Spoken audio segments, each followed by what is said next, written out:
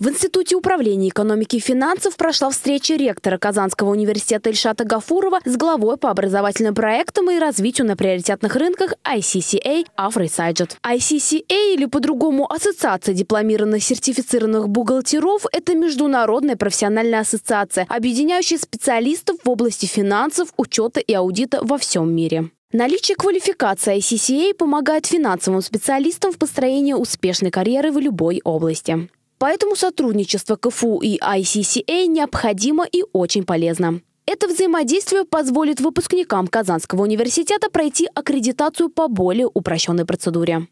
И одна из целей присутствия не только расширение предметов, а именно э, сделать Казанский федеральный университет площадку, площадкой для подготовки кадров для ICCA, прежде всего в Восточной Европе. Нашим студентам это нужно для того, чтобы поднять свой, ну, свой статус. Потому что люди, которые прошли аккредитацию, аттестацию по ССИ, лучше, э, лучше устраиваются и становятся ведущими финансовыми аналитиками. Ну, это прежде всего все финансовые директора. Их будущее – это финансовый директор крупной корпорации.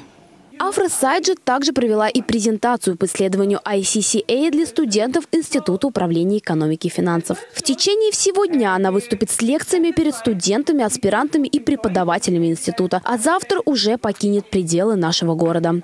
Анна Глазунова, Роман Самарин, Универ Ньюс.